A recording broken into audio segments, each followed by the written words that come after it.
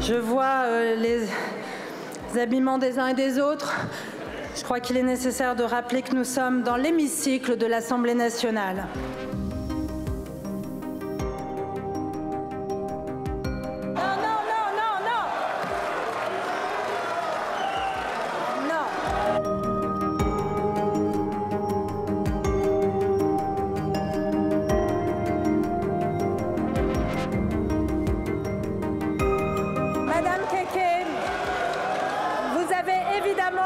L'ordre avec inscription au procès verbal et nous discuterons au prochain bureau du fait de savoir s'il faut une sanction plus sévère.